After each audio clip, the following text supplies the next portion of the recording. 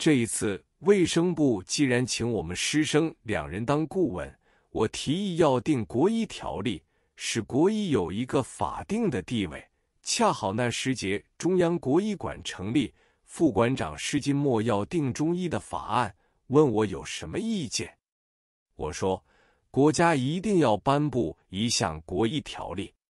他说，我们已有初稿，你再拟一个草案。我说。好，但是我对卫生部的实际职务是无意参加的，所以后来卫生部附设中医委员会成立，我就谢绝了，没有参加。国医条例的初稿拿到了南京，屡经修改，由中央国医馆馆长焦义堂在立法院提出，因为那时他还兼任最高法院院长，况且他又是法制委员会委员长。所以他提出之后，经过三读就通过了。这时候西医界倒着急起来，眼看着中医不但不能推翻，反而在国家的法律上有了立足点。因此，由上海西医界推出有力的代表二人，一个是牛惠生，一个是严福庆。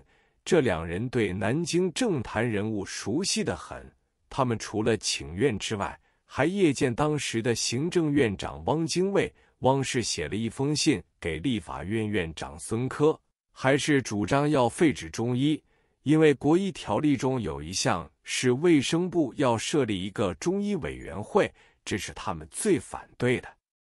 这封信孙科就交给焦义堂看，并且要他带回去加以仔细研究。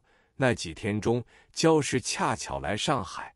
他就把汪的原信给我看，我看了十分着急，因为此事有关中医前途。就在征得焦氏同意后，把他设了张照片。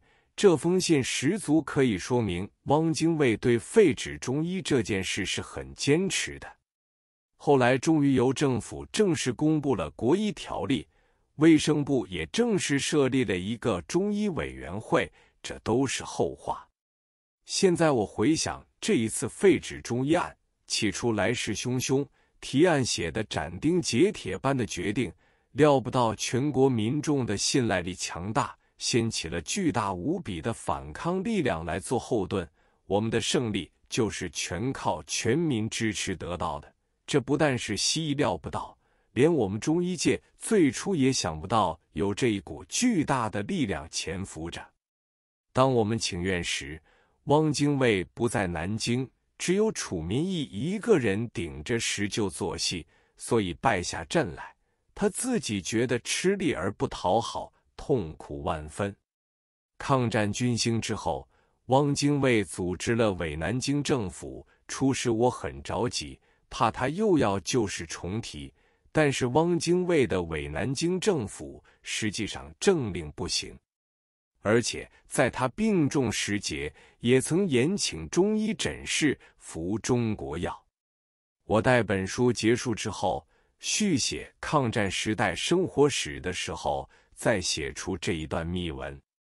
汪精卫至孙哲生是韩建云，哲生先生会见，自有中华医学会代表牛惠生、严福庆两先生前来访谒。对于所谓国医条例，欲陈述意见。